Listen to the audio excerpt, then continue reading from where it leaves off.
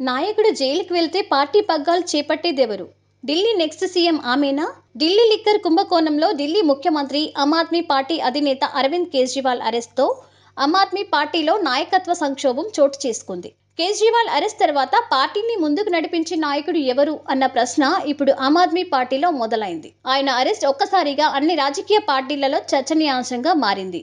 అయితే అరవింద్ కేజ్రీవాల్ అరెస్ట్ కావడంతో పార్టీ నాయకత్వాన్ని వహించేదెవరు? ముఖ్యమంత్రి బాధ్యతలు చేపట్టేదెవరు? అన్నది ప్రశ్నకు సమాధానంగా పార్టీ సారథ్యాన్ని విశ్రాంత ఐఆర్ఎస్ అధికారిని అరవింద్ కేజ్రీవాల్ సతీమణి సునీత కేజ్రీవాల్కు చేపట్టవచ్చని చర్చ జరుగుతోంది. ఇదే సమయంలో కొందరు కేజ్రీవాల్కు నమ్మకస్తులైన మంత్రుల పేర్లు కూడా ప్రధానంగా వినిపిస్తున్నాయి. ఆతిషి సౌరభ్ భరద్వాజ్ల పేర్లు కూడా ప్రముఖంగా వినిపిస్తున్నాయి. ఢిల్లీ లిక్కర్ కుంభకోణంలో కేజ్రీవాల్ను అరెస్ట్ చేస్తే పార్టీ బాధ్యతలు ఎవరు చూడాలన్న దానిపైనే గతంలో ఆమ్ ఆద్మీ పార్టీ అభిప్రాయ సేకరణ జరిపింది. ఇందులో తొంభై శాతం ప్రజల నుండి కేజ్రీవాల్నే ఎక్కడి నుండైనా సరే పార్టీని ప్రభుత్వ కార్యకలాపాలను నడపాలని కోరినట్టు తాజాగా మంత్రి సౌరభ్ భరద్వాజ్ తెలిపారు. ప్రజల మద్దతు కేజ్రీవాల్కు మెండుగా ఉందని ఆయన అభిప్రాయం వ్యక్తం చేశారు.